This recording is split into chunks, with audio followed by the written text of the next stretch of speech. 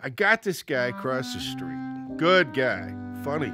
We help each other out with projects. We were having a couple, three beers, and I let it slip that I pre planned my funeral. I told him I wanted to be buried with my Norton 18 ounce claw hammer hanging right here.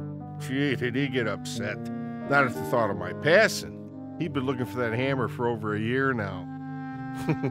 well, it is his, technically, but it's mine eternally.